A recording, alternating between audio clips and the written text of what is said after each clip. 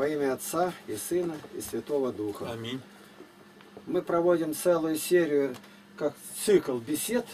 У нас название называется «Во свете Библии». Ну, всем известно, наверное, что такое Библия. Библия Священного Писания. Вот они, видите, как выглядит. Мы, православные, признаем 77 книг открытым оком. Вот брат Игорь Дебунов, он озвучивает вопросы. Вопросы эти задавали мне раньше и задают сейчас и по телефону. И я три радиопрограммы вел в свое время в разных институтах, университетах, школах, милициях. То есть всюду и везде. И вот э, к некоторым вопросам приходится возвращаться. Оказывается, ответил, мне казалось, подробно, а люди говорят, а вот это не ясно. Тут я заблуждался неоднократно. Я думал, всегда все ясно. Отвечаю, опять ошибся. Да вы даже не понимаете, что мы вообще, говорит, ничего не знаем. Вы называете неканонические. А что такое вообще слово неканонические? Значит, какие-то есть канонические. Мы это слово не знаем. Виноват. Мне очень трудно войти в положение тех, которые ну, совершенно ничего не знают. Мне не верится, что человек научился разговаривать и ничего не знает. Ну вот так, пожалуйста. Ну, как раз вы упомянули неканонические книги. Вот вопрос о, неканони... о неканонических книгах. Э, когда беседуешь с сектантами, то очень часто это бывает э, тупиком. То есть даже об этих книгах э, они не хотят и слышать. Называют их апокрифами, поддельными и так далее. И это так же, как на мусульман влияют вот изображения, иконы. Ну так вот сектанты относятся к неканоническим книгам. У них, как мы знаем, 66 книг, у нас 77 книг всего в Слове Божьем, в Библии. Ну и вот а слово, что говорит об этом Слово Божье? Как беседовать с сектантами и вообще как относиться к каноническим книгам, нам, православным? Я на этой теме полвека пробыл. Но раз я православный, я пользуюсь неканоническими книгами. Но симфония на канонические есть, разные. И самая лучшая из всех симфоний я признал Вернигородская. И это я легко докажу. Во-первых, глагольные формы, падежи сведены в одну. А не так, что корова, коровы, коровой. Ищи, а ты же не только слышал корова. А где искать? Допустим, такое бывает слово ад, адом, об аде. А Оно куда идет-то? Разброс-то какой? А там же точно идет по буквам, по алфавиту. И, например, тьма. А она тьма, тьмы, тьмой, оно разбрасывает вообще не найдешь. Поэтому большой труд состоял в том, чтобы все глагольные формы, допустим, шел, пришел, ушел, соединить воедино.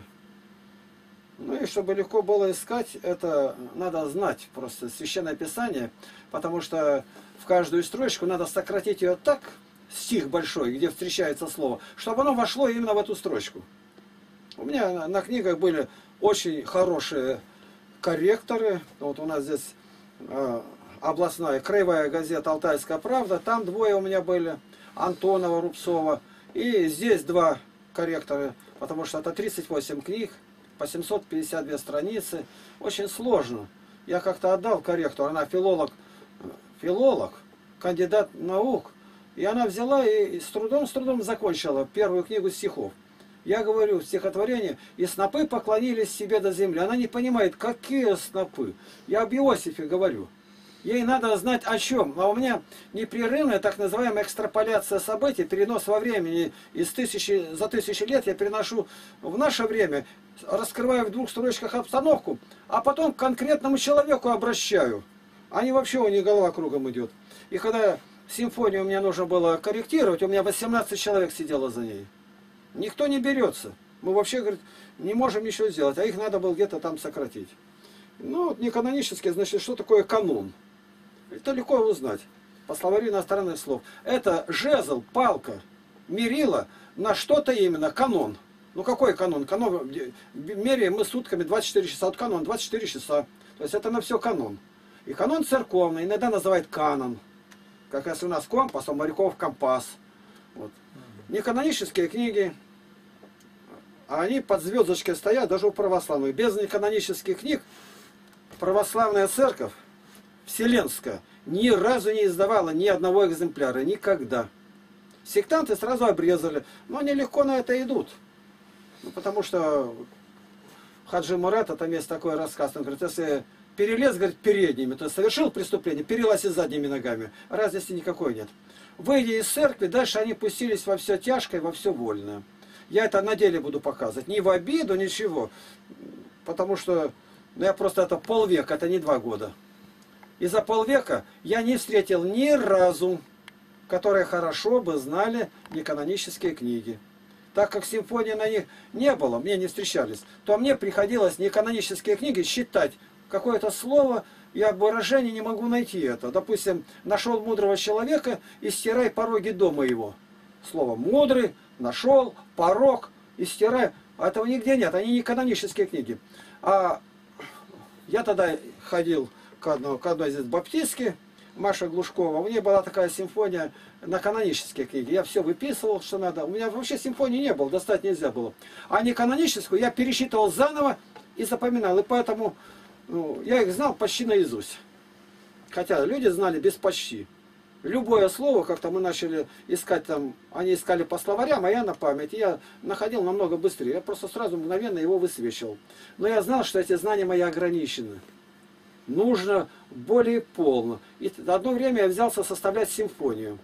Ну, чтобы вам было понятно, что такое симфония, на канонические книги составляли 20 человек 5 лет. 5 и 20 это 100 лет получается до одного человека. Ну, доказывать-то не надо. Ты его просто попробуйте.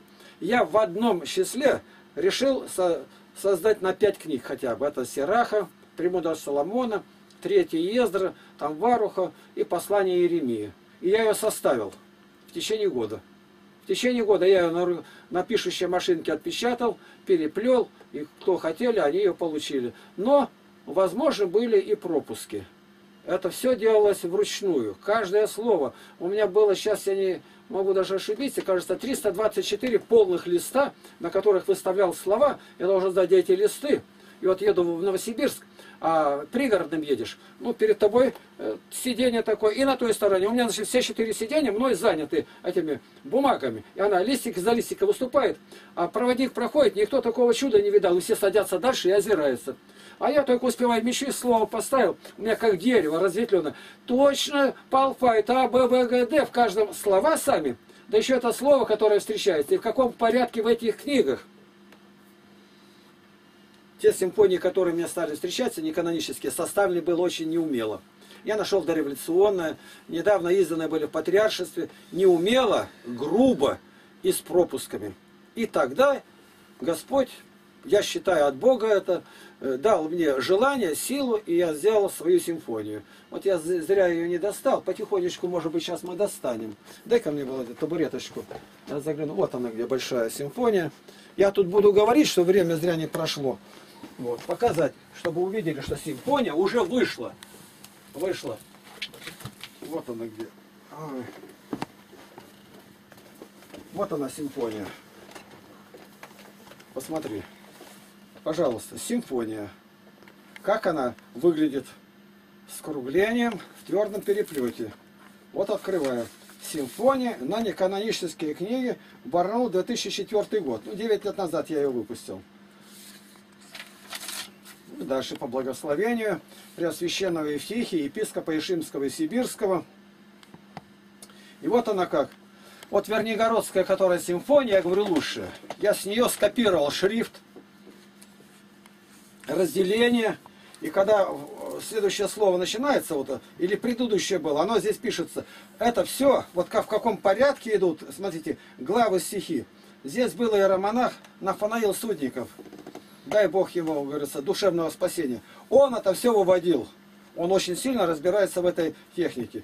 Ну и дальше Загуляев Александр Сергеевич. У нас был диакон такой, его нету. Видите, как все выставлено. И он э, программист. И вот эта программа, вот уже все почти сделано. Я сейчас не могу точно сказать, это все-таки 9 лет назад было. Но в среднем примерно 4 раза мы ее переделывали. И более полный нет. Я об этом отвечал и в интернете везде. Вот эта симфония, она примерно по восьми параметрам лучше, самая лучшая, какая была. То есть, ну, единственный недостаток нашей симфонии только один, что у нас мало денег. Вот шрифт, размер его, все с Вернигородской сходится. Ну, можно было бы ну, сделать его большим размером, букву, букву больше. Но у нас этого нет, нет такой возможности.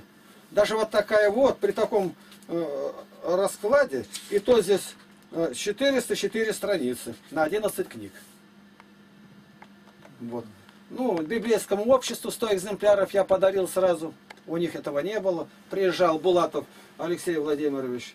И вот я попросил бы сейчас э, брата Игоря посчитать. Я выбрал несколько моментов только, всего несколько, из книг, какие у меня вышли. Я на эти вопросы отвечал. А теперь постарался ну, собрать вместе и показать. Это большая серьезная тема. Библия состоит из Ветхого и Нового Заветов. Ветхий Завет 39 книг канонических и 11 неканонических. Новый Завет содержит 27 книг. Каждая книга Библии разделена на главы только в 1236 году католическим кардиналом Хьюго или Каро. А в 1551 году главы Библии будут разделены на стихи библиотекарем французом Робертом Стефаном из библейского справочника Генри Геллей. Санкт-Петербург, Библия для всех, 2002 год. То есть это не мои слова. Первое. Теперь предисловие, которое в нашей симфонии есть. Пожалуйста. Симфония – первый наилучший друг и помощник всем, кто любит Библию и Господа Иисуса Христа и желает проповедовать. Это не я писал, писали люди, которые повыше меня саном и чином, может даже епископ. И дальше что тут написано? Симфония на неканонические книги Библии стала результатом совместного труда группы разработчиков под руководством Игнатия Тихоновича Лапкина. Данное издание выгодно отличается от предыдущих своей полнотой. В 2,44 раза полнее самой полной на, На кано- на канонические. На канонические, каноническое, так в сравнении с ним, я люблю математику очень сильно, вот во сколько наша точнее.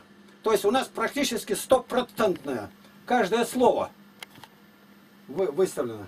и удобством пользования подготовлено с использованием компьютерных программ для выборки всех слов. То есть на сегодня является самой полной симфонией на неканонические книги. Данная симфония сделана по образцу Вернигородской. То есть слова даются не по падежам и формам, а все формы слова объединены в одну статью. Например, идти, ходить, шел или от, ада, адам и так далее. Это выгодно отличает нашу симфонию от других и сильно облегчает поиск многих слов. В книгу также включены такие тексты Библии, как 13-14 главы пророка Даниила, молитва Манасии и отсутствующие в синодальной Библии стихи три- с 36 по 106а из третьей книги Ездры в 7 главе. То есть у, у нас септуагинты переведено, нет, только в вульгате эти есть. И оттуда я тоже взял. То есть все полностью выбрано, все не каноническое. Неканоническими книгами постоянно пользовались святые отцы в своих поучениях, такие как Ян Златоуст. Чтение неканонических книг рекомендовано поместными соборами и святыми отцами. Ладикийские 50, Пра- Правило 50. Правило. 59 60 354 года собор. Карфагенские правила 33 318 года собор. Апостольские правила 85 это первый второй век. Афанасия. О праздниках стихи Григория Богослова и Амфилохия. Это вот все, что здесь мелко написано, я вывел крупно, чтобы было видно. Далее я беру из второго тома э, э, открытым оком, а их у меня 30 томов. Вот что там есть. Вопрос 676. Иисус Новин, 10 глава, 13 стих. «И остановилось солнце, и луна стояла, доколе народ мстил врагам своим. Не это ли написано в книге праведного? Стояло солнце среди неба, и не спешило к западу почти целый день». Что это за книга праведного? Почему ее нет? Вот это мне в университетах задавали люди, доходит книга праведного, но раз есть праведного, стали искать, а ее нигде нету. Теперь я на основании Слова Божия должен показать людям, что в Библии упоминается более десятка книг, которых вообще нигде нету. И поэтому ссылаться на то, что э, канонически это только взять, а остальные не нужны, оснований никакого нет. Ответ. Бог верил в слово своего евреям, дал им закон, а они ни того, ни другого не сохранили. Деяние 7 глава, 53 стих. Вы, которые приняли закон при служении ангелов и не сохранили. Не сохранили. Речь идет об евреях, которым Бог верил Слово Божие. И они не только не сохранили, но убивали они тех, кто писал, и уничтожали то, что они писали. Они были враги Богов. Прямо Господь карал их за это дело. И мы это увидим сейчас здесь. Евреи многие книги потеряли, а некоторые, обличающие их, уничтожили вместе с их авторами. Вот некоторые книги, о которых упоминается в Библии, но которых нигде нет. Ну давайте по порядку считайте. Первое. Книга Браней Господних. Читаем числа 21 глава 14 стих. Упоминается, где она? Упоминается, значит, она была книга. Дальше. Книга праведного. Иисуса Новина, 10 глава, 13 стих, 2 царств, 1 глава. Я 18 обращаюсь ко всем сектантам, начиная с баптистов. Но вы эти книги вот читали, вы задумались или нет? Об них упоминает Слово Божие, которое вы любите. Ну неужели ни разу мысль не пришла заглянуть, есть такие книги или нет? На них ссылается автор книги вот, Иисуса Новина, книга Царств, вы их признаете. Ну а дальше вопрос, а сам по себе, ну а я хочу знать, где это в книге предсказано. А ее нету. По порядку мы идем. Так это у Иисуса Новина, а- об этой книге два автора упоминают. Дальше. Третье и четвертое сразу. Книга закона Божия и записи постановлений и законов Иисуса Новина. Об них Иисус Новин, упоминается. 24-25 стих. Их нигде вообще нету. Теперь мы считаем, уже четыре книги нашли, о которых канонические книги упоминают, а их нигде нету. Дальше. Пятое, шестое. Записи пророка Нафана и записи прозорливца Гада. Первое паралипомену, 29 глава, Ну, этих 29 пророков стих. мы признаем, да. А о книгах этих пророков записи упоминает Паралипоменон, каноническая книга. А самой книги про пророка Нафана нету. Где они? Они не то, что не канонические, они вообще отсутствуют. Мы сначала разберем, э, как мы можем относиться к этому. Дальше. Седьмое. Книга пророка Самуила о правах царства. Первая царь, 10 глава, 25 Это же стих. конституция сама, на ней клялся царь. Что исполнять? Права. Ее вдруг нигде нету. Но мы можем только догадываться. Они были в плену, теряли, отбирали. Но мы сейчас увидим, что не всегда так было. Они уничтожали. Притом уничтожали на самом высоком уровне, как в православной синодальной церкви. Переводчик, вот мы имеем э, Евангелие от Матфея, Псалтырь. Кто перевел? Я повторяю еще, среди сектантов я ни разу не встретил, кто бы знал переводчиков. То есть крайняя неблагодарность. Почему? Они должны сказать, да, мы любим Слово Божие. Но если любите, скажите, кто создал? Ну, безбожники пользуются солнцем, землей, но не хотят видеть автора этого. Ну, нам непонятно разве? Это какое слово? Это неблагодарно называется. А к римлянам Павел говорит, люди будут неблагодарны, злоречивы. Это все сделали православные, православный профессор, гебраист, папский Герасим Петрович, воспитатель царских детей, преподаватель духовной академии, знавший язык еврейский так, как знают русские не все. Писал учебники для еврейских школ. Учебники. Да у нас на тысячу человек, ну, может, один какой-то э, этих учителей, один что-то внес. И все это отвергли. И так не хотят, знаете, говорю, ну, папский, а зачем нам не нужен? Вот это вот, ну, это просто понятно. Восьмая.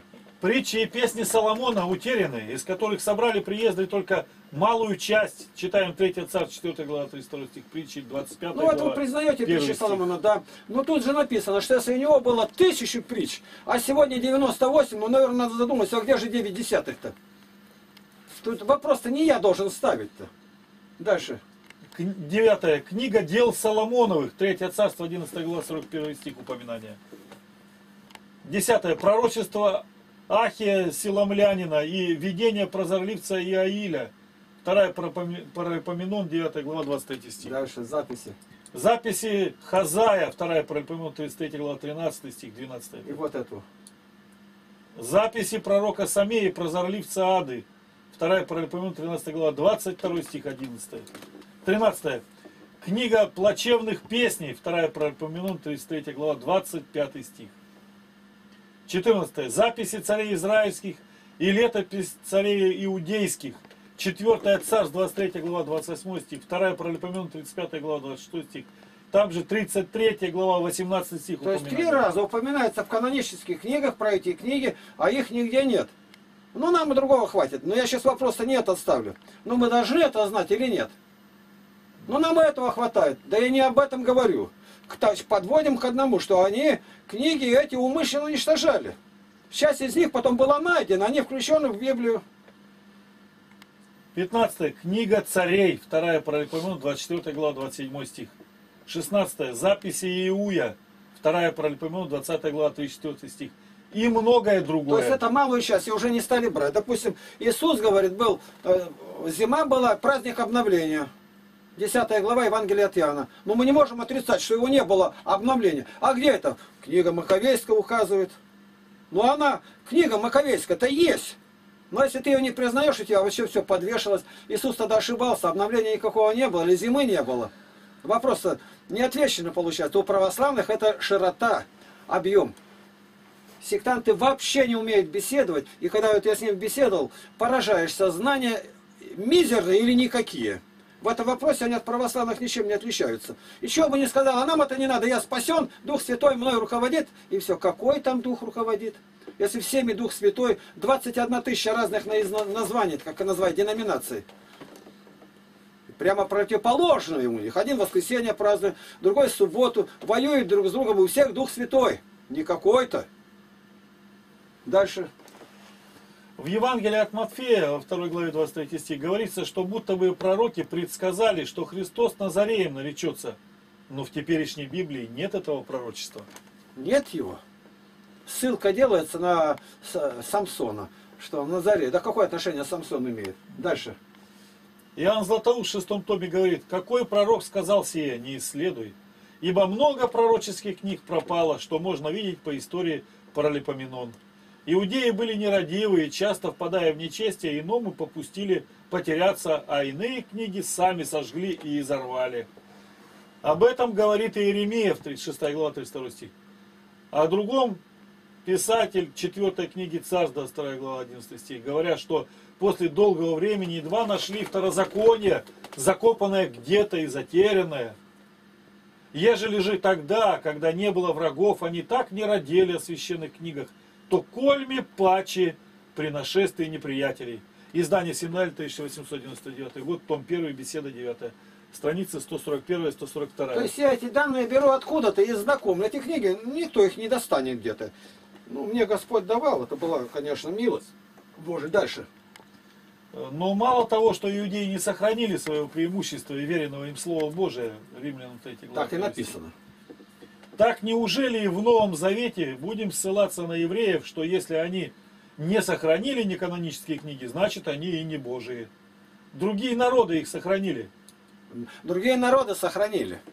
И мы это находим у других народов, которые списывали когда-то, там гонений не было, они сохранили. Иоанна Златоуста было 11 томов, и вдруг нашли не где-то у армян, и сразу включили теперь 12.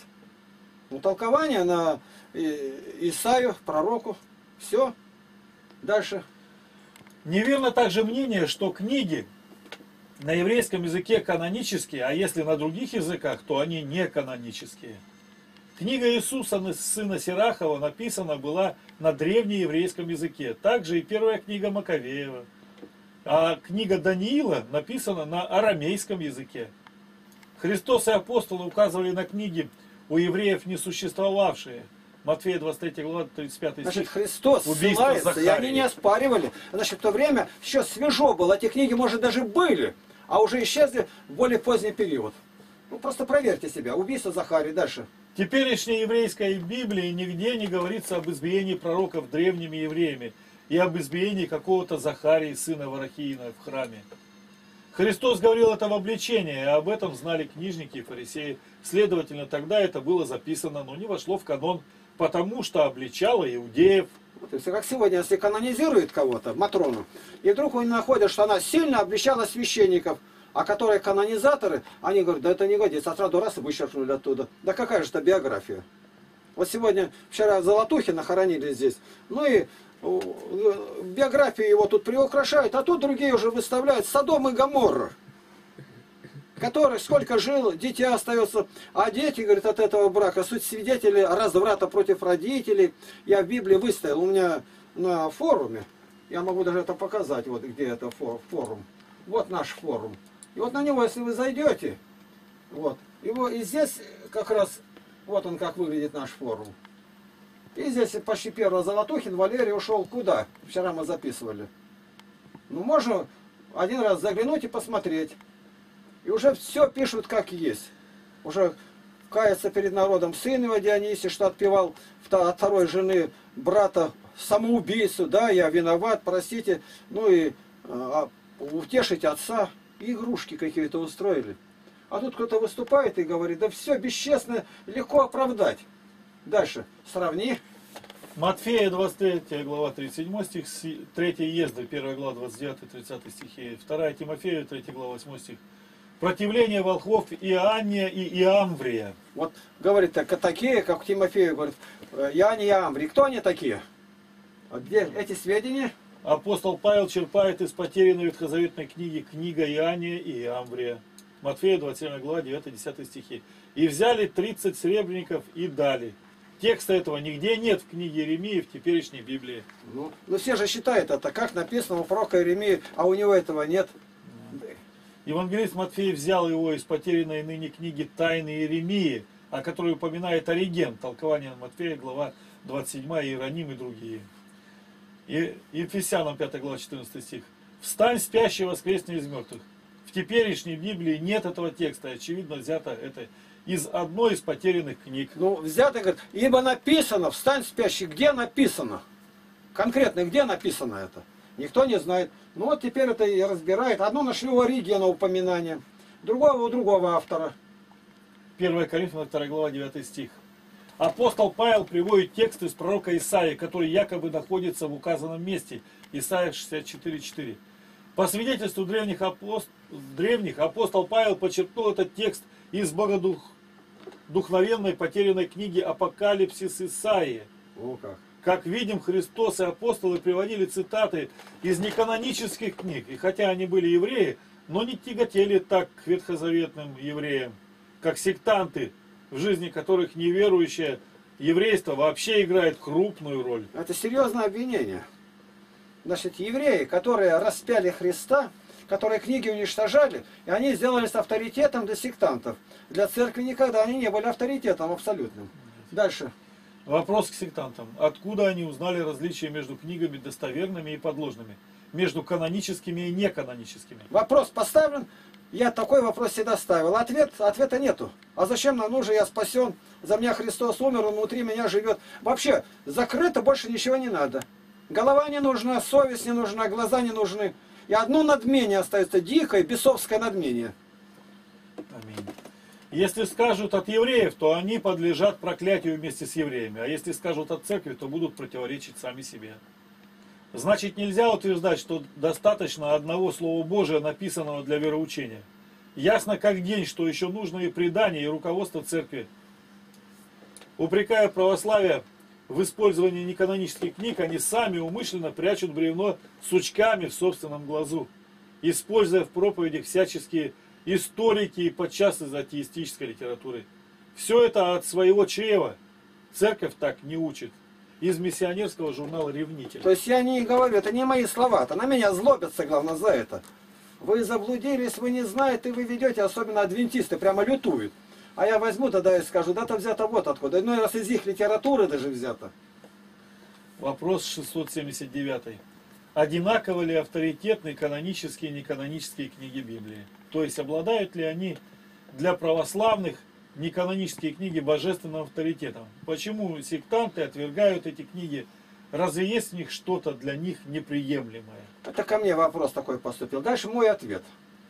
Если вы этот вопрос зададите сектантам, не рядовым, а их руководителям, показать конкретные места Писания в неканонических книгах, которые противоречат каноническим и по смыслу, и по духу, то они ничего не укажут, кроме того, что в одном месте Сирах допускает выпить немного вина для веселья. Все это идет от нашего научения, от нежелания самому исследовать, от упрямства. Больше ничего в этом нет.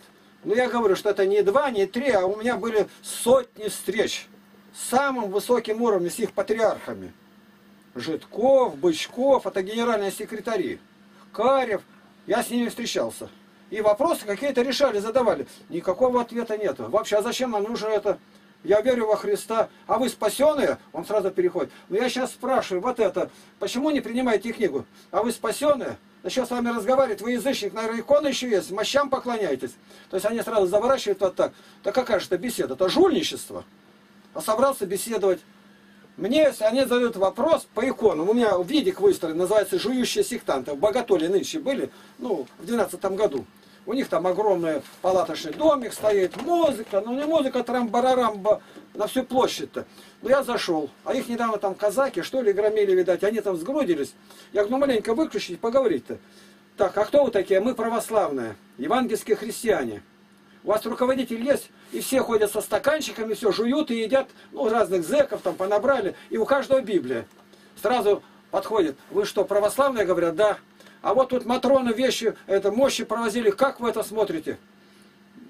Я ему отвечаю. Он мигом, я не успел ответить даже, он видит, что он тут пропал с этими мощами-то. Он сразу, иконы-то есть, небось? А что такое иконы? Это идолы.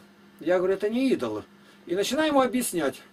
Все лезут, встревают, это все на видео. А зачем вы снимаете? Теперь в интернет поставите. На нас плохо будут думать. Я не разговариваю. Спрашиваю, скажите, в какой храм приходил Христос? Он ни на один вопрос руководитель не может. В этом храме были изображения. Изображения это икон. Икон это греческое слово. Иконы. В оригинале написано, и были иконы от пола до потолка, резные, снаружи и снутри. Ну ладно, это не будем, это ну как не будем? Вы, да хватит агитировать здесь. Я говорю, вы вопрос задали, вы вас задали, а я отвечаю, он не может выслушивать. Это бесноватые люди. Ни один вопрос они не выслушивают. У меня шахматные часы. Если говорю, давайте вы беседу хотите провести, вы нажимаете, ну как в шахматы играют, ровное количество времени. Через пять минут и взрывает сатана уже. И все это сейчас на ролике снято. И он выслушал? Нет, конечно.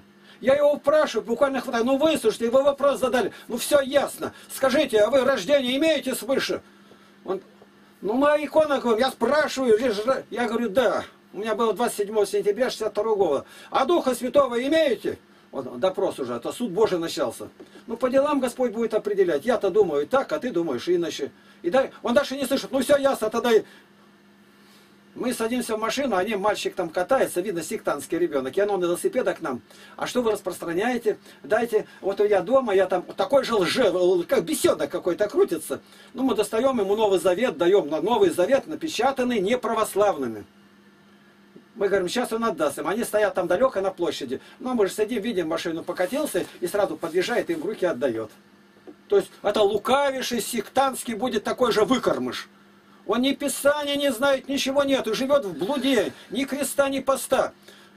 И над прославным, на православном изгаляется буквально над всем, что он видит только. Ну, сатана только может это делать. Беседовать вообще не могут, знаний никакого нет, одна дерзость сатанинская. Женщины без платка, в брюках ходят. А что мне надо? Она духом святым руководится. Каким духом? Этот дух-то ты еще не видела, не слышала его. Дальше читаем. Пример. Я даю такой пример. Один из детей многодетной старобрядской семьи оказался у сектантов, а другой у мусульман, мамлюки. А третий при родителях. Когда они выросли, хотя они родные по крови, они были непримиримыми врагами. И никто из них по-настоящему не знал даже ту веру, в которой был воспитан. Многие держатся за церковно-славянский язык, наговорят тьму возвышенных характеристик ему, но не могут перевести ни одного псалма, ни одного канона на русский язык. Неканонические книги, кроме третьей езды, приняты соборами. И на эти книги дают толкование святые отцы, такие как Златоуст. Я ему говорю, Златоуст, а что мне Златоуст? А кто он такой? Почему я должен слушать его? Ну, ну еще могу сказать-то. Человека ни разума, ни совести нет. Ну кто такой Златоуст? Город Златоуст. Слышали такой? В честь кого он назван? Ну ты хоть что-то Златоуста читал? Нет. А не канонические книги? Нет. Тут был Никонов Алексей Дмитриевич, баптистский пресвитер, у зарегистрировано всех бы. И эти они 11 книг он в собрании вот так оторвал все из Библии и бросил на пол. А Мария Никифоровна Глушкова их собрала, а я переплещик, реставратор. И я ее переплел в отдельные корочки сделал. Это богохульники. Для них разницы никакой нет. А он считал их, да, конечно, это малограмотный мужик. Страшно злобный. Даже не знаешь, с чем сравнивать его. Ему говорит, я говорю, пошел в православный, это Василий Федорович, это будущий священник православный. Иди в ад, они все идут. Это во всем собрании. Это Валя Конева была, это слышали. Где он теперь находится? А я ему передачки носил его сыну в тюрьме сидящему, сидел за бандитизм. У другого тут Кроптя тоже, сын тоже в тюрьме сидит. Это я только знаю. Другой есть Василий, э, этот, Василий говорит, Васильев брат, Сергей Толстенко Федорович. От трех жен одновременно дети одного возраста. И тоже сидят все жены, и все. Старший сын подошел, который от другой, от Таси. Ну, а родная это жена Люба Толстенко. Будимир, девичья фамилия. Подошел к ней, папа, я тебе не отец. Ну, Золотухин и то от своего незаконного рождения не отказывается и стоит с ним. А я тебе не отец. Ну, действительно, он не отец. Просто пригрелся. Это чтобы я к тому говорю, чтобы них... Это, это слабость греха. Ну, вы же надмеваетесь. Какие они православные, там, педофилы. Кого ты знаешь? Одного хотя бы ты знаешь. Нет. Ну, а почему, когда обвиняют, молчат? Ну, они-то избрали такую тактику. Я бы не молчал. Я бы не молчал. Когда против меня составили один фильм, здесь ролик-то, а ушел тут один сектант, а, это его Дружинин Митя, Дмитрий Геннадьевич-то. Ну, а его Прокофьева Ирина, она вела на лестничной площадке, такая тема, и говорит, а если я напишу, что у Игнатия в лагере мальчики спать с девочками? Он ей сказал, спать будешь очень беспокойно. Я тебе этого не советую. Не советую. На всякий такой удар я отвечаю серией ударов. Всегда. Почему? За этим стоит у меня лагерь. Лагерь детский, 40 лет. За этим стоит деревня, какой труд положен. И просто так на растерзание никогда не позволю. И у меня еще не было проигранных процессов, которые на меня нападали. Все выиграно. Ну, не считай, вот эти вот, там денег же не было. И деньги заплатят, и выйдут. Все. А дальше Бог расправу сделает. Поэтому кое-где надо восставать. Не все так сносить. Святые вступали в такие схватки, как Иоанн Златоуст с царем, даже не выскажешь какие. Почему? Потому что за ними стояло, стояло общество, сотни тысяч людей. И он обязан был защитить эту истину. Нужно уметь оторваться от своих природных корней, которыми каждый гордится как традицией, истоком, народностью. При исследовании Библии это все как гири на ногах. Исследование Священного Писания должно начинаться с чистого листа. Никакой предвзятости, пристрастности. Легко обрезать все, чему ты был прежде научен, если Библия это не подтверждает или отнести в разряд второстепенного о чем никогда не стоит спорить. То есть и без принятия этого люди могут спастись. Это мой ответ, который я давал с кафедры пред многочисленной аудитории. А потом это все было записано и издано. Без предвзятости. Ну ты никогда не читал эти книги. Ну как ты их можешь? Вот меня спрашивают какое-то мнение какой-то книги. Бывает. Очень-очень редко, что книгу я не знаю. Ну, ну редко. Или новый перевод Библии. Я стараюсь немедленно достать его, оставляю все дела и сажусь. И сразу все пишу, страницы, подчеркиваю. И тогда даю рецензию. Только тогда. А как я могу? Отвергаю Солженицына, архипелаг а я его не читала. Манька, да ярко, выступает и где-то в газете ее печатают. Глуп тот, кто дает ответ, не выслушав. Так говорит Премудрый. Вопрос 765. Сектанты не признают 14 главу пророка Даниила. Потому что она не каноническая. Как быть? Ответ.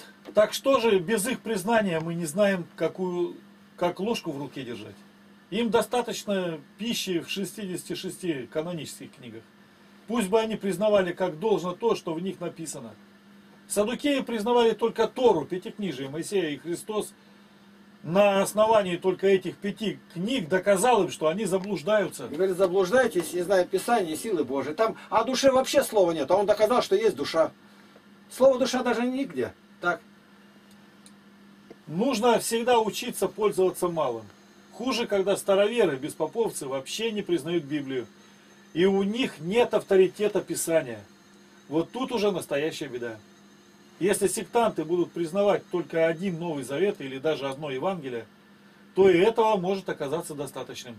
А главы 13 и 14 пророка Даниила, они нам ничего не прибавляют, кроме двух историй жизни Божия народа. И ставить так вопрос, как быть, вообще не нужно. Это мой, мой ответ. Ну какую еще большую толерантность можно придумать?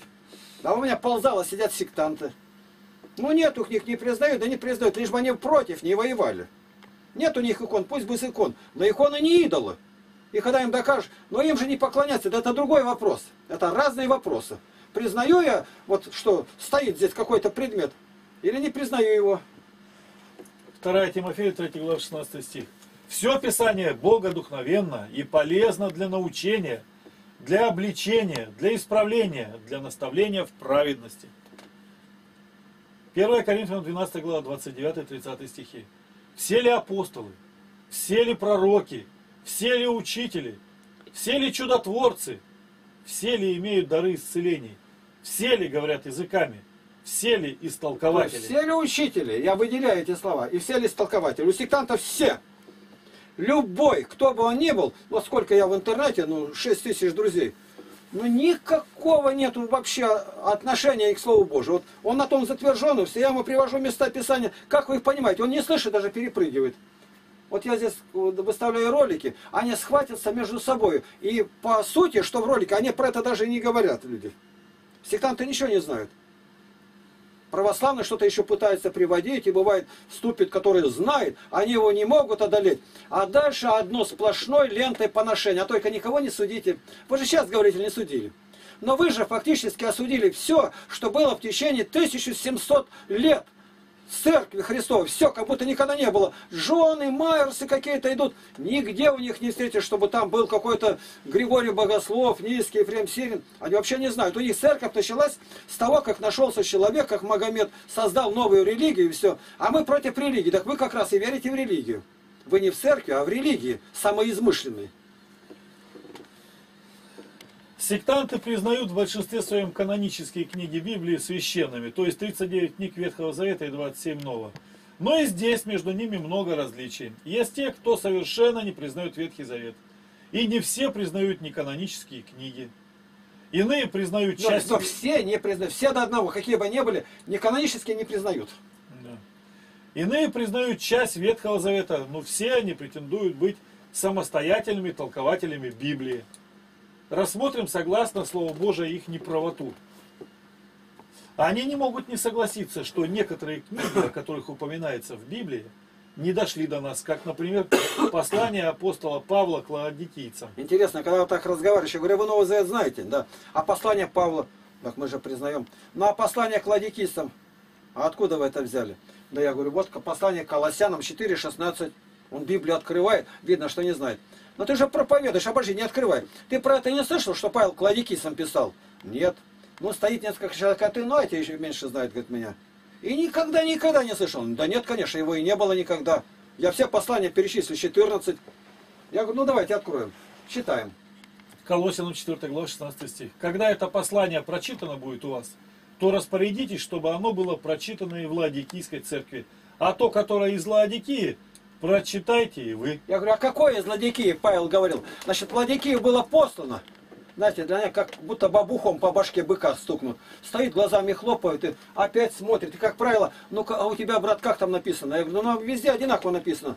Нет, подождите, это православное прибавляет все. Открывает и так. А у тебя? Он не верит, уже два свидетеля, три. Он не вмещается там, у него ямки там в мозгах нету, как Солженицын говорит. В Ладикийской церкви было послание. И Павел говорит, обменяйтесь, они разные послания. Его не, дос- не дошло до нас. Не достало времени. Церковь очень осторожно принимала в канон новозаветных книг Писания святых апостолов. Ввиду того, что уже во времена их, их стали появляться подложные писания еретиков, выдававших свои еретические книги за книги святых апостолов, подделывая их подписи и печати. Вот я переписываюсь с сектантами здесь. Просто писание где-то, кстати, они дальше по басенке, в басне, какой-то там выходит проповедник, хины, бены, там собирают, что попало. Ну, сошлись хоть один раз на каноны Вселенской Церкви. А вот у нас, до вас не было никогда епископа, это вы старшим пресвитером называли. Здесь один собор, только на нем 630 епископов со всего мира. И во всей церкви никого не было, кто понимал бы это. Ой-ой-ой. Но почему вы не отрицаете о том, что на, вот как машина ездит, как двигается двигатель, зажигание? А что отрицать? Ну отрицай, ты же не знаешь этого. Как ты можешь отрицать это, когда оно в миллионы раз сложнее? Это откровение Духа Божия. Где это написано, чтобы подделка была? Считаем. Вторая Фессалоникийцам, вторая глава, 1-2 стихи. Молим вас, братья, о пришествии Господа нашего Иисуса Христа и нашем собрании к Нему. Не спешить колебаться умом и смущаться ни от духа, ни от слова, ни от послания, как бы нами посланного, будто уже наступает день Христов. То есть они именем Павла подписывали, а другие не понимали. Дальше. При принятии книг в канон Нового Завета уже было около 50 еретических книг, которые очень многие принимали за настоящие. Ну вы это знаете, к любому сектанту обращаясь, ни одного понятия нет, никакого вообще. А церковь это знает, и книги эти сохраняются. Они в Ватиканской библиотеке. Одних только Евангелий насчитывалось около 20. Это некоторые знают. Я говорю, а какие? Дальше начинают перечислять. Ну а как узнали, какое истина? Ну, по какому методу, где этот канон, который мерили? Вот это вот подходит, а это больше мер. Канон-то, ну, отель он мер-то в Париже находится. В Лувре там где. Ну, а здесь кто определял-то? Не могут ответить. А зачем нам это знать? Я говорю, ну, кто определял, в каком году? Ни одного еще не встретил, никого. Я говорю, а ты что не кончал? Да, я библейские курсы кончал в Новосибирске, дьяконом поставили. И ты не слышал этого? Нет, не слышал. На слово Златоуст слышал? Да, преподавали нам. И Златоуст как кончил жизнь? А нам не говорили. А что он написал, знать не знаю. То есть слово Златоуст только слышал. Ну какие же это знания-то? Ну какие? Ну если не знаешь ничего, зайди на наш сайт. Я покажу его. На наш сайт. Сайт наш он один такой, на нем насчитано полностью Златоуст. Полностью, абсолютно все. Вот она. 12 томов. Вот в этой теме вот звук и видео. Вот наш сайт по свете Библии. Здесь 12 томов жития святых. То есть история церкви в образах. 1173 биографии. Ну, хоть одну знаете? Нет. А Павла вы знаете, что казнили мечом? Да, знаем. А Петра распяли вниз головой. Слышали. А откуда вы это узнали? Ну, так это написано где-то. Ну, а где написано? В Писании этого нет. Павел заканчивает тем, что находится еще в гостинице в Риме. А дальше еще жизнь продолжалась. А как Фома, где проповедовал, редко-редко, но все-таки иногда ответят, в Индии. А как он закончил жизнь? А Андрей, про Андрея вообще не знают. Ничего не знают. Я разговариваю с руководителем, они что, если знают, я говорю, откуда ваши знания? Он со скрежетом зубовным должен сказать, от православных. И что сохранили канон православный, и что определили канон православный, и перевели на русский язык православный. Так вот Павел о вас как раз и говорил, люди будут неблагодарны, злоречивы, непокорны родителям. Вот это вы и есть. Ну, послание к Римлянам, первая глава, читаем. Дальше мы продолжаем. Каким же образом и кто узнал, что только четыре из них настоящие? Вопрос, Вопрос очень простой. Я задаю, как узнали? Вопрос, ответа нет. Никакого. Но и на него сектанты категорически отказываются отвечать. Еретики, как правило, духовно развращены лукавством, хитростью, лестью и ложью. А вопрос-то, говорит, очень простой. Очень простой. Ну, сказать, а где-то написано, и сразу принять. Чтобы кто не подумал, что это голословные слова от нерасположенности к ним, попробуйте добиться ответа от них на этот вопрос. То есть сами попробуйте. Вот вы сейчас услышали, из себя начните, которые там вверху вопросы стоят. Вот. Каким образом и кто узнал, что четыре из них? Они категорически отказываются отвечать. Это я говорю уже собственного опыта. Я беседовал с другими миссионерами, говорю, у вас были, говорят, везде одинаковые. Они везде одинаковые, одержимы одним духом какой? Духовно развращены, то есть каждый делает, что хочет. Лукавы, хитрые, льстивые и с ложью. Это абсолютно точная характеристика сектантов. А что, православные лучше? Да мы сейчас говорим, что признает, православные признают. У них другая характеристика. Там пьяницы, там блудники, табакуры, э, что угодно можете говорить. Они воюют, убивают. Все я признаю. Почему я признаю, вы не признаете? Невзоров говорит, да вот там невежество 700 лет. Я могу не соглашаться, но скажу, в большинстве Невзоров прав. Хотя он совершенно одержимый. С такой ненавистью ему, у него положительной, как говорят мирские люди, энергетики никакой нету. На лице написано. Но однако я внимательно прислушаюсь к нему. Да. Я очень близко знаком со всеми сектантами и много раз проповедовал с их кафедр. Кафедр в столичных городах. Я живой еще, как это осколок того времени. И всегда поражался их страшному невежеству и малограмотности их строго ограниченному знанию мест Писания и еще большему нежеланию знать истину. Я даже считаю места, которые Писание. Я говорю, ну вы проходите толкование? Да. Ну вот написано, на небе явится, говорит, знамение Сына Человеческого. Что это такое? Еще повторяю, за 50 лет. А я веду самую активную работу с этим 50 лет. Ни один руководитель не мог ответить. Ну Христос, там написано вслед за знамением Христос явится. Что Христос явится, скроется, а потом явится опять. Да как, как знамение? Знамение Сына Человеческого, животворящий крест. Мы накладываем его на себя. На небе будет крест. И Златоуст говорит, три причины этому. Вы опровергнуть можете или нет? Ничего нету. Обманщики. Нежелание, самое главное, не знать истину. На прямо поставленный вопрос они никогда не отвечают прямо.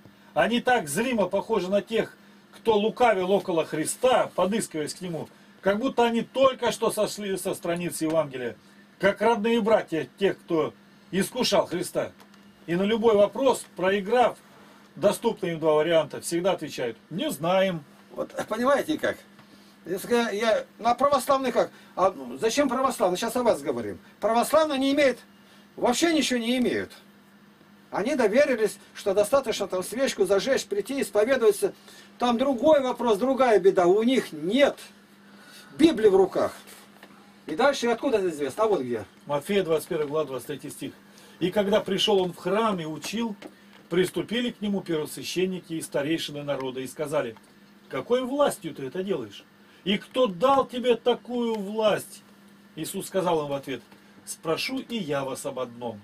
Если о том скажете мне, то и я вам скажу, какой властью это делаю. Крещение Иоаннова откуда было? С небес или от человеков? Они же рассуждали между собой.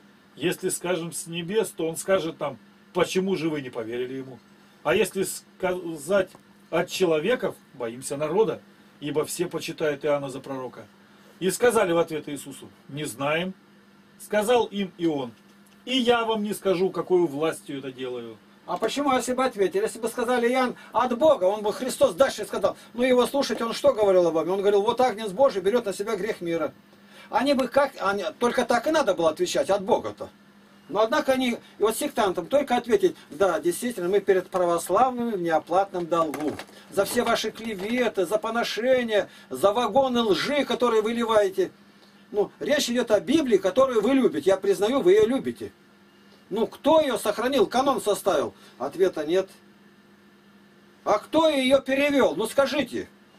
Ну, не знаете, задайте вопрос. Четыре духовные академии, Священный Синод – и специально имел три дня, посвященные из всех присутственных дней рассмотрением переводы, которые поступали.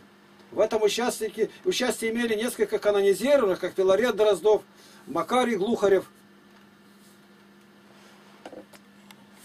До нас дошло предание, что даже верующие не все склонны были к тому, что только четыре Евангелия, Матфея, Марка, Луки и Иоанна от Духа Святого. Иные склонны были допускать, что Евангелие от Фомы, от Никодима, Варфоломея, евреев, Басилиска и другие, если и не полностью, то частично все же богодухновенные. Все эти Евангелия были положены на престол, помолились Богу. Даже. Чтобы он сам показал, какие книги от него, и храм был заперт и опечатан. К такому методу прибегали Моисей и Аарон, и в Новом Завете при мощах Ефимии Всехвальной – Утром обнаружили, что только четыре известные ныне как канонические лежали на престоле. Остальные были сброшены на пол. Ну, когда Моисеев жезл один расцвел, а Ааронов жезл расцвел, ну, это же прибегли они к этому. Ну, как узнать, от Бога, не от Бога. Ну, давайте вместе положим, все. Мало того, за одну ночь расцвели, и плоды показались, яблоки висит на сухом. А эти лежали, как оглобли сухие, сектантские. Это ничего от них и нету. И все доказано. Там нету ни подвига, ни смирения, ни поста настоящего, живут вольно по-мирски. И обольщенные сатаной претендует на царство, на мало того претендует, никого больше туда не пускают. Православные там нет. Дальше.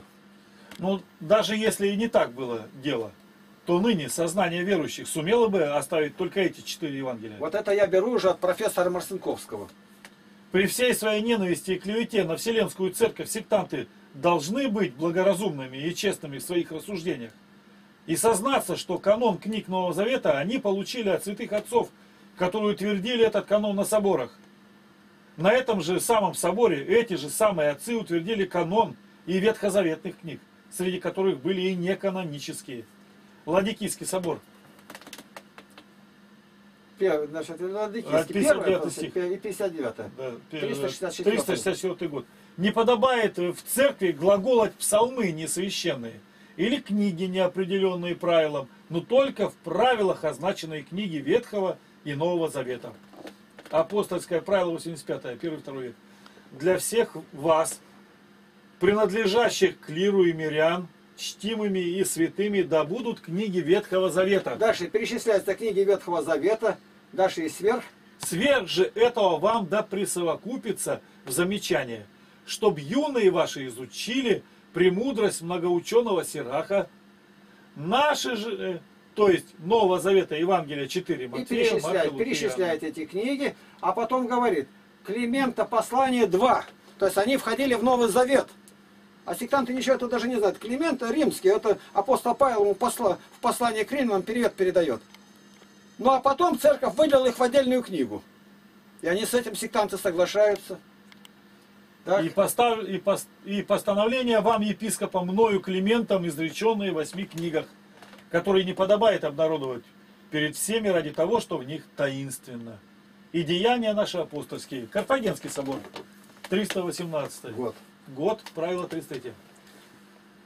Постановлено также, да не читается ничто в церкви под именем божественных писаний, кроме писаний канонических. И дальше перечисляют канонические, ну это все книги, какие у нас было. Сколько? Два, три и для, дальше. для твердости же предлежащего правила да будет извещено всем брат и сослужитель наш Ванифатий, епископ римский и прочие епископы тех стран, чтобы мы прияли от отцев, что сии книги читать и подобает в церкви. Вот так. Священным Писанием называется откровение людям воли Божией, записанное Богом, избранными людьми по вдохновению Святого Духа в особые священные книги, которые все вместе именуются Святой Библией. Как происходящее от самого Бога письменное Слово Божие называется священным Писанием, в отличие от обыкновенных писаний человеческих.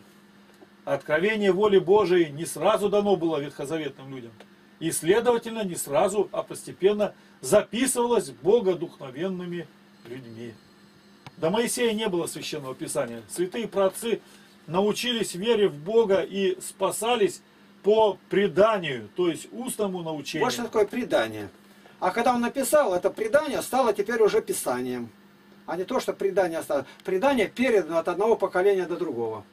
Моисей первый записал открытую ему волю Божию в, пяти, пять книг и объявил их божественными, положил их в храме по правую сторону ковчега Божия. Второзаконие 31 глава 24-26 стихи.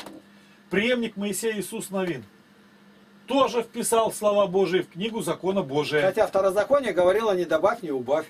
Иисуса Новина, 24 глава, 26 стих. Так поступали и другие, получившие откровение от Бога пророки, как, например, Самуил, 1 царь, 10 глава, 25 стих.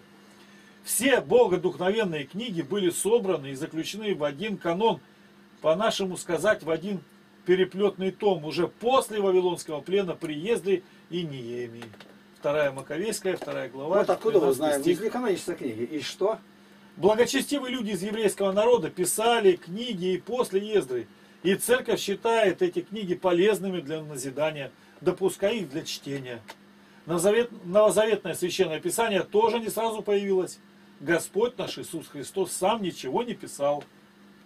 Из жития известно, что Перу Христа принадлежит только одно послание к Авгарию, царю Идесскому. Священное Писание не человеческое, а божественное. Матфея 5 глава 17-19 стихи. Не думайте, что я пришел нарушить закон или пророков. Не нарушить пришел я, но исполнить. Ибо истинно говорю вам, доколе не приедет небо и земля, ни одна йота или ни одна черта не приедет из закона, пока не исполнится все. Итак, кто нарушит одну из заповедей сих малейших и научит так людей, тот малейшим наречется в Царстве Небесном. А кто сотворит и научит, тот великим наречется Царстве Небесном. Вот это место толковать среди сектантов еще ни разу не встречал. Недавно одного хорошего встретил, ну прям видно, хороший человек-то. И проповедует на эту. Я говорю, да малейшая заповедь это девять заповедей блаженства. Он так, гляжу, прислушался вроде бы. Как малейшие? А почему он назван малейшими? То есть юнейшими. Они после Моисеева закона пришли. Но одну заповедь нарушена, нет у тебя, ну, блаженно нищий духом, а ты не нищий, уже не войдешь. Ну а как же написано, наречешься в Царстве Небесном? В малейшем наречется. Да в малейшем это означает ничтожным будешь брошен в огонь. Но же в царстве. Царством называется пришествие Христа. Это у Тимофея написано. Поплыл, гляжу, мой проповедник. Нет, это не так, только мое. Вот тут сектантство выперло полностью. Он никого не хочет слушать один, у него ни учителей, никого нету. До чего-то он доходит, выходит на улицу, проповедует, ну видно ревностным. По всему видно хороший человек, но он сектант. Абсолютно не церковный разум. Он своим разумом понимает. А другой вот и спрашивал своего, ну вот тот брат есть, он не так понимает. Вот и все, вас двое уже по-разному. А четвертое, четыре маленькие Ваньки и четыре толкования. Вот и все. Иоанна 5 глава 46-47 стихи. «Не думайте, что я буду обвинять вас пред Отцем. Есть на вас обвинитель Моисей, на которого вы уповаете. Ибо если бы вы верили Моисею, то поверили бы и мне, потому что он писал о мне. Если же его писанием не верите, как поверите моим словам? Вот поэтому, если не верят люди толкованиям святых отцов об этом, они обречены на разделение. Церковь объединяет, а секты разделяют. Лука 11 глава 28 стих. А он сказал, блаженны слышащие Слово Божие и соблюдающие его. А чтобы было оно признано Словом Божьим, его надо было выбрать из мусора. Сколько же этих посланий-то было?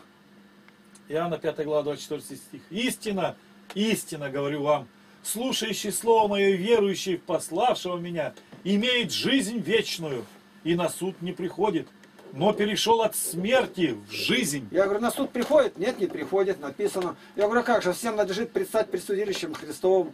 2 Коринфянам 5.10. Не знаю. Так они предстанут, не осужденные будут. Толкование на это есть. 2 Петра 1 глава 21 стих.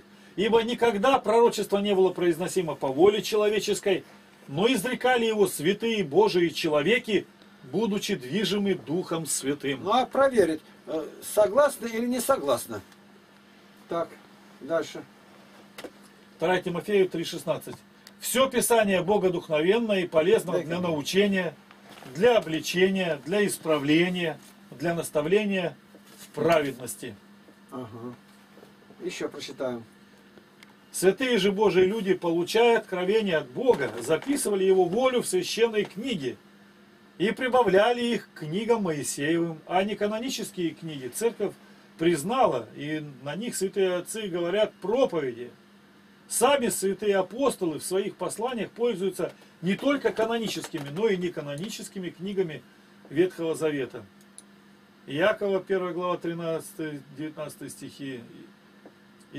Иисуса, сына Серахова, 15 глава 11-12 стихи, 5 глава 13, 7 глава 36 стихи, 18 1. Руфь, 2 глава 20 стих. Римлянам послание апостола Павла, 1 глава 17-23 стихи. Премудрость Соломона, 13 глава 1-10 стихи. Откровение, Иоанна Богослова, 15 глава 4 стих. Вторая книга Езда, 4 глава 28 стих. Бытия, книга 2 э, глава 24 стих. Матфея, 19 глава 5 стих. Ефесянам 5 глава 31 стих и другие. То есть вот, вот эти места мы хорошо сделали, чтобы на экране было видно. Тормозните и дальше проверьте эти места. Я заранее как бы вопрос задаю. А вы верите, что будут смотреть? Весьма сомнительно. То есть единицы какие-то могут посмотреть. Вот как с ними идет разговор. Вот пятый вопрос. Как у нас бывает? Сектант говорит. Каждый может толковать Библию, как он разумеет ее, ибо каждый христианин имеет в себе помазание Святого Духа, научающее его истине. 1 ну, Иоанна, 2 глава, Я сектант прошу, так вы отвечаете. Но это же ваши слова. Но я это, это взял не где-то из журнала «Ремнитель» дореволюционного. Что-нибудь изменилось? Да нет, не изменилось. А почему? И Бог один, и демон один остался. И Христос не изменяется, не дьявол тактику меняет. А в общем-то грех монотонен. Православный должен так отвечать. Под помазанием, разумеется, благодать Святого Духа, пребывающая в Церкви Христовой и наставляющая ее на истину. В первенствующей церкви во время святых апостолов уже были учителя, толкователи Писания. 1 Коринфянам 12 глава 8 стих и 13 глава 8 стих. Теперь это помазание святого дается христианам в таинстве миропомазания, но оно не дает права каждому толковать Священное Писание по своему усмотрению. Оно наставляет и укрепляет в истинном понимании Слова Божия только тех, кто исследует Писание, находится в общении с церковью, а не все- сектой, и в полном послушании учению Вот в церкви. них оно вкладывается. У сектантов, отделившихся от церкви, нет святых тайн, таинств. Нет и не может быть помазания Святого Духа, следовательно, и не может быть правильного понимания священного Писания. Они не изменятся, но мы один раз должны это засвидетельствовать до суда Божия и отрясти прах. Шестой вопрос. Говорит, говорят сектанты так. Всякий верующий без руководства других может сам исследовать священное Писание, которое может умудрить его во спасение. Иоанна 5 глава 39 стих. Видите, мы их не критикуем, ничего. Я говорю, какими пользуются они местами Писания. Деяния 17 глава 11-12 стих. Здешние были благомысления фессалоникских. Они приняли слово со всем усердием, ежедневно разбирая Писание. Точно ли это так? И многие из них уверовали. И из еленских почетных женщин, и из мужчин немало. Православный должен отвечать вот так.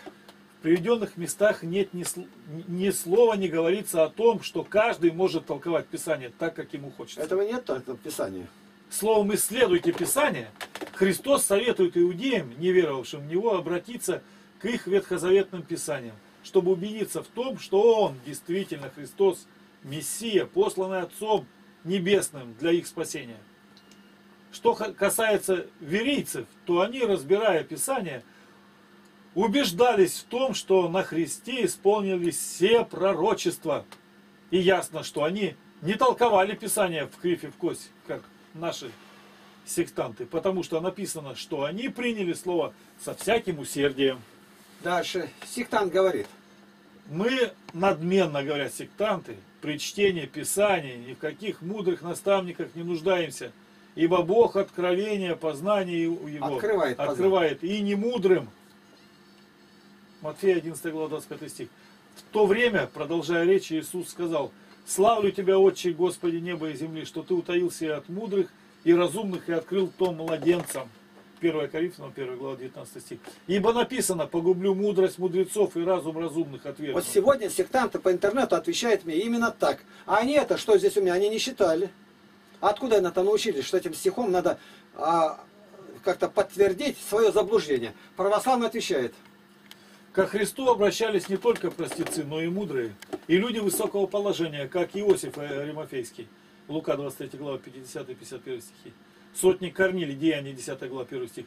Ученый Савол, Деяния 22 глава 3 стихи, 25-29 стихи. Ясно, что слово «погублю мудрость мудрых» относится не к христианской мудрости, которую апостол Яков советует просить у Бога, Якова 1 глава 5 стих, а к языческой, Римлянам 1 глава 22 стих и иудейско-талмудической.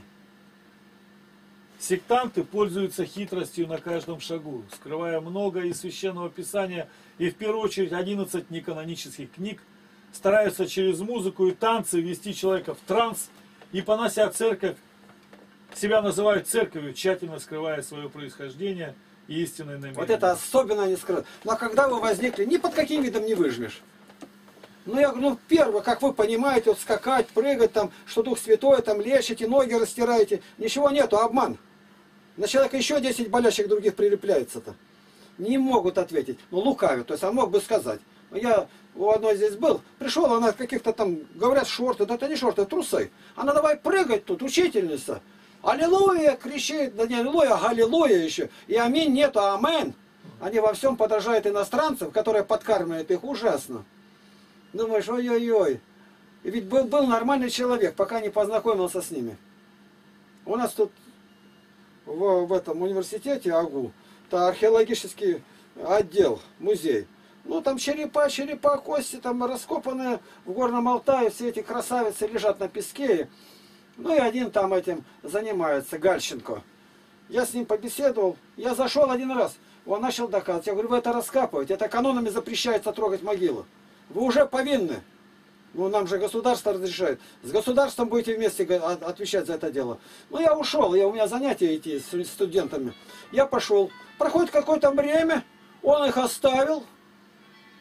Он ушел полностью от сектантов, Церковь Христа называлась тут. Принял православие, проходит какое-то время, Он принимает монашество и сделался уже схи, Матфеем, Агеем, и у него сгорел храм. Но его настроили против меня. А вот теперь, когда его зажали здесь, и вдруг он является ко мне вот в это помещение, здесь мы сидели. Что мне теперь делать? Я говорю, иди и благовествуй. Собирай людей по домам, ежедневно собирались-то. Он без храма-то никуда, он как пугало на огороде. Ну и все на этом. Сейчас я не знаю, живой он или нет. Все до единой секты созданы масонами для хитрого искусства обольщения. Истинные верующие никогда этим не пользуются. 2 Петра 1 глава 16 стих. Ибо мы возвестили вам силу и пришествие Господа нашего Иисуса Христа, не хитросплетенным басням последуя, но быв очевидцами Его величия. 2 Коринфянам 4 глава 2 стих. Но отвергнув скрытые постыдные дела, не прибегая к хитрости и не искажая Слово Божие, а открывая истину, представляем себя совести всякого человека пред Богом. 2 Коринфянам 11 глава 3 стих. Но боюсь, чтоб как змей хитростью своей прельстил Еву, так и ваши умы не повредились, уклонившись от простоты во Христе. Августин Папа, святой Иннокентий, первый, 402-417 годы, считали неканонические книги «Премудрость Соломона», «Тавит» и «Юдип» каноническими книгами. Пожалуйста. Утерянные страницы в Септуагинте греческой из Библии, но сохранившиеся в Вульгате, это латинской, Вот како- каких у нас нету. Даже в православной нету. Утеряны были листы, так сказать. Вот эти стихи из 3 Ездры, глава 7, 35 стих. Затем последует дело, откроется воздаяние. 36 стих. И откроется озеро мучения, а против него место покоя. Видна будет печь гиены, а против нее рай сладости. Не называй цифры. И скажет тогда Всевышний пробудившимся народам, посмотрите и поймите, кого вы отвергли, кому вы не служили и чьи заповеди вы презрели. То есть это вы найдете э, в этой Брюссельской Библии. Я просто показать. Видите как? Вот это то, что не вошло в канон и даже в православной нету. Хорошо. Видите сколько? 102, 105 и 106 стих. Все. Может быть прочитать даже некоторым? У нас возможность есть, некоторые вообще могут и не Давайте найти. Ну давай посмотрим. Э, У нас еще возможность есть. Все-таки это по- Слово Божие. по- Поруководи нами. Где это закончили? 37 Давай. на 38 Взгляните прямо перед собою и напротив. Там сладость и покой, а тут огонь и мучение. Вот что скажешь ты им в день суда. Этот день таков, что не имеет ни солнца, ни луны, ни звезд, ни облака, ни грома, ни молнии, ни ветра, ни дождя, ни тумана, ни мрака, ни вечера, ни утра, ни лета, ни весны, ни жары, ни зимы, ни мороза, ни холода, ни града, ни дождя, ни росы. Ни полдня, ни ночи, ни предрассветных сумерок, ни блеска, ни ясности, ни света, кроме одного лишь сияния светлости Всевышнего, вследствие чего все могут видеть то, что пред ними. Его длительность будет такая же, как седмины лет. Такое суд мой, такое суд Так. мой и его порядок. Такой, Таков видно. такой. Одному тебе я открыл это. И я отвечал, я говорил уже и теперь скажу, блаженны живущие, исполняющие заповеданное тобою. Но я молил о следующем. Найдется ли кто из живущих, чтобы не грешил? Или найдется ли кто из родившихся, чтобы не, нарушил, не нарушал твоего завета? И теперь я вижу, что будущий век принесет сладость немногим, а мучение многим. Ибо внутри нас выросло сердце злое, которое удалило нас от Него и привело нас к тлению и путям смерти, показало нам тропинки погибели и удалило нас от жизни, притом немалое количество, но почти всех, кто был сотворен. И он отвечал мне и сказал, выслушай меня, и я наставлю тебя и вразумлю тебя относительно имеющего быть. Ввиду этого Бог и сотворил не один век, а два. Что же касается твоих слов, что праведных немного, но мало, тогда как нечестивых множество, то выслушай на это вот что. Если у тебя будет весьма немного драгоценных камней, то ты станешь складывать их у себя по числу их. Свинца же и глины изобилие. И я сказал, как же это возможно? И он сказал мне, не только это, но спроси землю, и та скажет тебе, подойди к ней с лестью, и та поведает тебе. Ты скажешь ей, ты производишь золото, серебро и медь, а также железо, свинец и глину. Серебра же больше, чем золото. Меди больше, чем серебра. Железа больше, чем меди. Свинца больше, чем железа, и глины больше, чем свинца. Посуди теперь сам. Что драгоценное влечет к себе? То ли чего много, или то, что является редкостью? И я сказал, Владыка Господи, что встречается в избытке, то хуже, а что попадается реже, то драгоценнее. И он отвечал мне и сказал, взвесь про себя то, что ты подумал. Кто владеет тем, что с трудом добывается, бывает рад больше того, кто обладает тем, что встречается в избытке. Так обстоит дело и с обещанную мною тварью. Я рад буду немногим спасшимся, потому что они утвердили ныне владычество моей славы, и на них наречено ныне же мое имя. Меня не будет огорчать множество погибших, ведь это те самые, которые теперь уже уподоблены пару и приравнены к огню и дыму.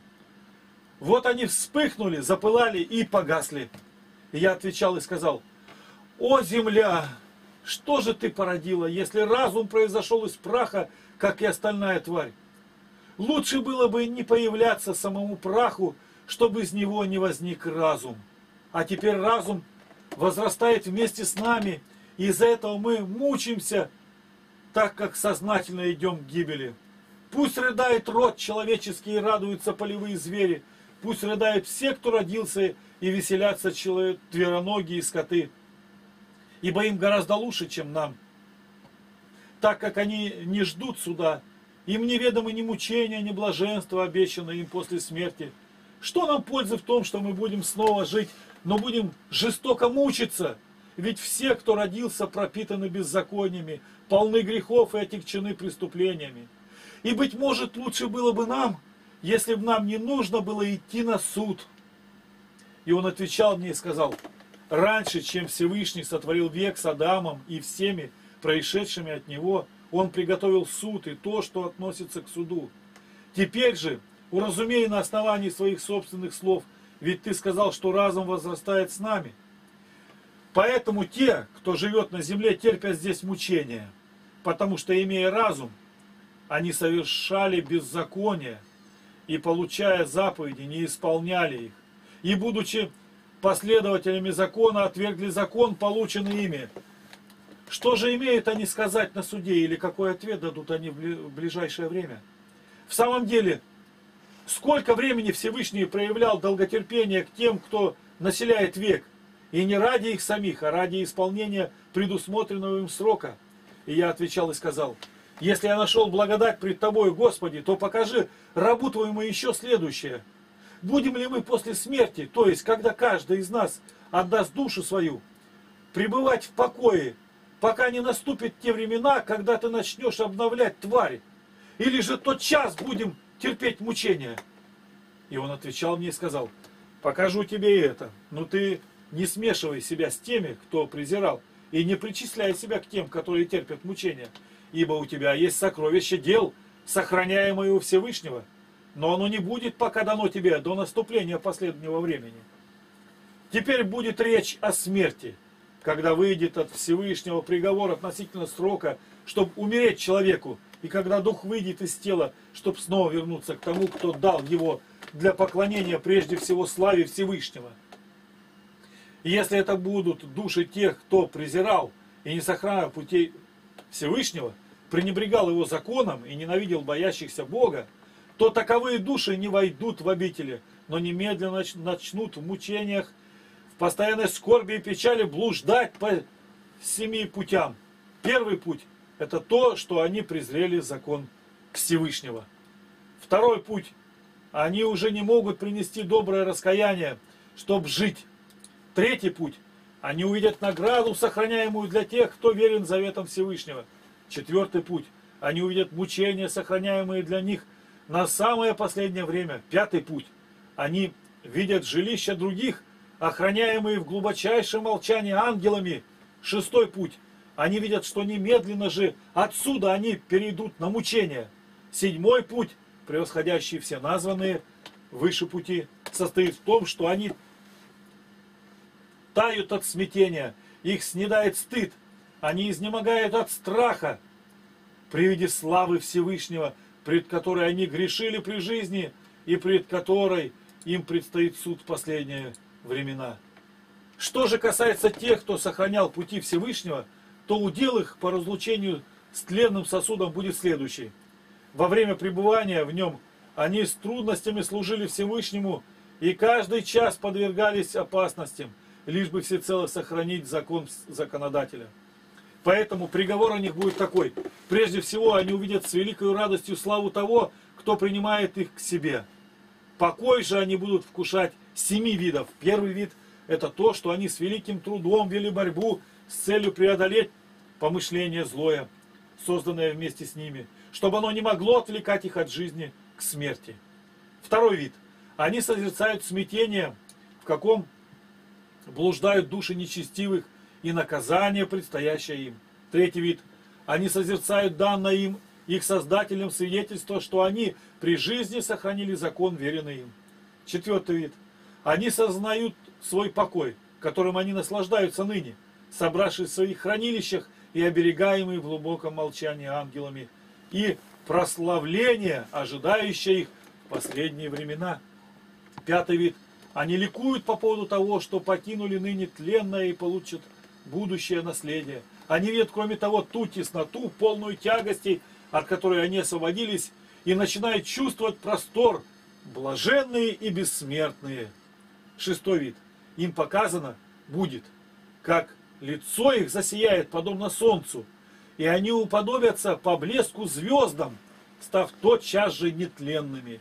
Седьмой вид, превосходящий все ранее названные, они будут ликовать с уверенностью, надеяться без пострамления и радоваться без страха, так как они спешат увидеть лицо того, кому они служили при жизни и от кого они должны получить награду, состоящую прославлении. Таков удел душ праведников, возвещаемый им тотчас же. Ранее были названы пути тех мучений, которые терпят немедленно же грешники. И я отвечал и сказал, значит, душам по разлучению их с телом будет дано время, чтобы видеть то, о чем ты мне сказал. И он сказал мне, семь дней будет длиться то, о чем была их свобода. Их свобода чтобы они за семь дней увидели то, о чем была выше речь. А после этого они соберутся в своих жилищах. И я отвечал и сказал, если я нашел милость пред очами твоими, то покажи мне рабу твоему, кроме того, могут ли в день суда праведники достигнуть оправдания нечестивых или молить за них Всевышнего. Отцы за сыновей, сыновья за родителей, братья за братьев, родственники за своих близких, или друзья за дорогих для них лиц. Он отвечал мне и сказал, так как ты нашел милость пред очами моими, то я покажу тебе это. День суда решительный и являет всем печать истины, подобно тому, как ныне отец не посылает сына или сын отца, или господин раба, или друг самого, самого дорогого для него человека с тем, чтобы тот думал за него, или спал, или ел, или лечился – так некогда, никогда. никогда никто не будет за кого-либо ходатайствовать. Но каждый принесет тогда свои правды или неправды. И я отвечал и сказал, как же мы находим, что Авраам первый молился о садомлянах? Ну и далее по тексту этой главы уже по канонической. Вот эти вот стихи я тоже, ну, лет 10 назад первый раз увидел. Их просто в синодальной Библии нигде нет начитано у меня, есть симфония, они есть эти главы. И вот относительно неканонических книг. Ну, кто скажет, ну могу или без них спастись? Конечно, может. Но отрицать их и говорить, что они не от Бога, основания никакого нет. Они говорят, это апокрифы. Апокрифы это подделки. Как вот те Евангелия, которые церковь вообще их не приняла. Там Василийска считает, э, Евангелие евреям. Нам нужно в душе все время это держать. Ты дал нам Слово Божие Твое. И как нам его разуметь? Я вот обращаюсь к сектантам. Скажите, а вы верите? Вот первое послание Коринфянам, ну, 11 глава. И там перечисляют, до 12 глава. Вот. Одних поставил, во-первых, апостолами. Я всегда говорю, ну, перечислите апостолов. Ну, перечисляют безошибочно все. Православные ошибаются. Во-вторых, пророками. Тут у них уже затруднительно. А в-третьих, учителями. Ну, они опять перечисляют апостолов. Притом все одинаково. Я говорю, в-третьих, ну как это, первых мы отпустили, они уже уехали, они уже разберились по странам. Вторые пророки, они разлетелись. Третьи, ну а кто третий? Я вас спрашиваю, не вы меня. Я вам отвечу. Ну, в каждом веке были, сея с вами воссиди до скончания века. Никак не может быть, чтобы Христово Слово не исполнилось. Кто это? Ну, Игнатий Богоносец. Слышали? Нет. А Поликарпа Смирского, Иринея Леонского, дальше перечисляя Златоуста, Киприана Карфагенского, Ефрема Сирина, ничего не знают. Вот руководящие знают имена. Дальше я начинаю говорить, какие труды их, выдержки из трудов. Редко-редко, когда. Я ему говорю, вот с одним баптистом я занимался целую зиму с одним. Он расположенный, хороший. Ну, я ходил не зря. Жена стала православная, а он так и остался баптистом на должности диакона. Я говорю, ну теперь знаешь, что никакого первого воскресенья не будет в тысячелетие царства. Это духовное воскресенье-то. Дожаты будут все вместе. Да я знаю это. Но почему ты на кафедре не проповедуешь? Да как кто примет? То есть боится. Вот выступает иногда здесь профессор, бритый, в галстуке, спрашивает, какие недостатки в церкви. Он начинает, главное это внутри, он, он перекидывает место. Видно, что лукавит. Тебя спрашивают в церкви, то, что видимо. Я вас спрашиваю, скажите, почему вы бороду бреете? Ну, сектант, понятно, для него законов никаких нет, по стихии мира живут. Женщины в брюках ходят, они найдут на все. Главное, чтобы ширинки не было. Смехотворство. Но ты-то православный, ты-то профессор, других учишь. И за каждого неправильно наученного дашь отчет. Ты вы слышали, что такое оглашенное изведите? А это в каком веке сказали? Но оно ушло из литургии? Или я написал литургии и сказал, пройдет время, литургия моя будет другая? Нет этого. Зачем ты обманываешь-то? Оглашенных нету. Их не оглашают. Теперь каноны, да каноны какие там устарели, бери те, которые не устарели. Без лукавства. Вот каноны, которые говорят о том, что проповедовать и люди обращались, и троекратное погружение. Это изменилось? По какой причине? Почему нет крещения в православной церкви сегодня? Почему?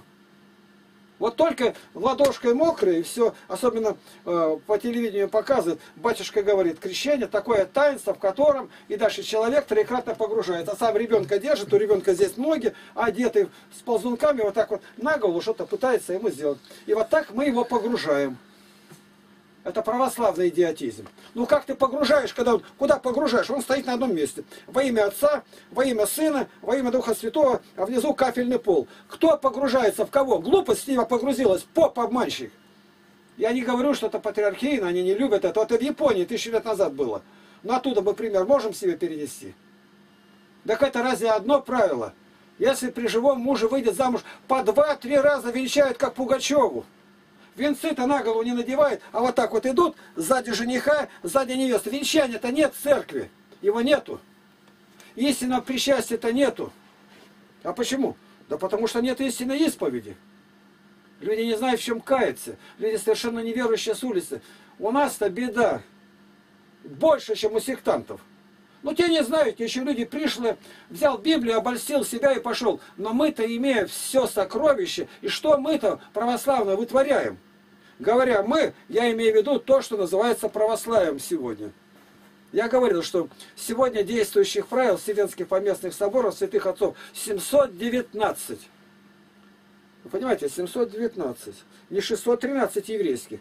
Из них 413 нарушается ежедневно в каждом храме. 413 правил в каждом храме. И когда я это разложил по соборам, в Жарданвилле было, дайте напечатать надо. Я показываю, какое правило в каком соборе. У меня ушли годы на это. Но мы православные, я обязан это соблюдать. А может они не нужны? Ну как не нужны? Тогда бы Господь не выгонял торгашей. Почему торгуете? Ну там же иконок не было. Ну правильно, не было. Так там валы были. Валы-то были по закону приносимые жертвы, про иконы там не писано. Вы вообще еще за это будете отвечать, что иконы там у вас и, и еще и торгуете как один а такой рассказ небольшой есть, портной. ну, материю-то натягивают, ну и маленько там бывает где-то и отрежет, и куски хорошие получались там, как портянки. А потом из них он ребятишек много сошьет. И однажды во сне видит, изо рта у него выросло дерево, и все эти куски материи висят. Он проснулся, испугался, говорит, Ваня, а сын уже под мастерье был.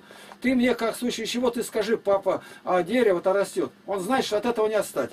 И когда следующий принес ему там какой-то кафтан шить, он вот так натянул на это все как надо, размочил, и у него опять кусок, он стал резать. Папа, а тятя, тятя, а дерево, тряпки, он как ножницы держал, вот так сыну, дурак, такого куска там не было. Вот у нас нужно обязательно, чтобы такое, у нас там в храме иконки. Да Христос создал вертеп разбойников. Вы создаете шум, мамона. За деньги все, и крещение все продается. Это самая неприкрытая симония. Это говорит патриарх Алексей II. Но не у нас, в Японии тысячу лет назад. Без обиды. Ну ведь это же есть, или мы ничего не думаем. А чего секты-то возникли? Чего бы они стали возникать, если бы здесь учили? Если бы здесь у нас евангельская вера-то была. Сегодня евангельская вера как ругательно. А ты что, баптист? Но мне все время наклеивать эти ярлыки, как отец Александр Мень говорил, говорит, как заграничный чемодан. Меня, говорит, обклеили со всех сторон. Ты такой, ты еврей, ты там масон, ты продажный. Ну ты конкретно, сейчас мы разговариваем о неканонических книгах. Вы прочитайте хотя бы раз «Премудрость Соломона». Там про идолов сколько написано. Вам это нужно будет. Вы увидите разницу между иконами и идолами. Ну, один раз, ну, один раз всего, я прошу и умоляю, прочитайте. И вы увидите, какая радость у вас будет в душе. Серахов, мудрец, он говорит, не для себя это искал. Я рано пошел путешествовать, кто много ездил, тот много видел. И дальше все это рассказывает. И при том изречение, которое где есть дитё, ты чаще наказан, не возмущайся криком, если у тебя дочь, потеряй покой, чтобы она не осрамила тебя перед народом, чтобы в доме отца не забеременела, то есть брюха ты не сделалась, чтобы она не доела мужу, преждевременно не отцвела, не осталась бездетной. И все это описано. Если жена не ходит по твоей власти, отсеки от твоей плоти. Как обуздать жен непокоривых? Сегодня жен это непокоривые везде православных не покорили, а сектанты, они вообще мужья под каблуками, и там вякает из-под каблука голову высунул. Они у вас и распутные просто. Без платка стоит на кафедре, гляжу. Вот сейчас выходит крашеная в брюках, там майер какая-то месяца ходит. Ну все, американская, это свобода такая. Кому это все нужно?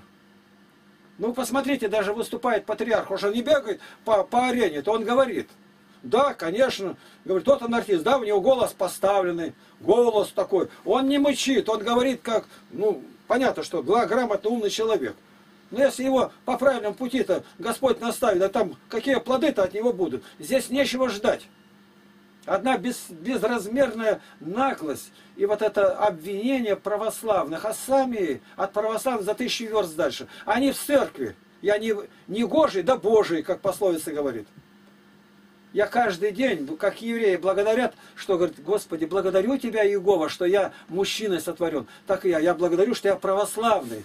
Хотя быть сектантом, по всем признакам я должен быть сектантом. Я у них обратился, у них уверовал. И поэтому то, что я касаюсь и люблю Слово Божие, это я не у православных получил. Стать таким, как есть, мне Бог помог. И поэтому у меня было рождение от духов, а родители моих, Тихона и Марии.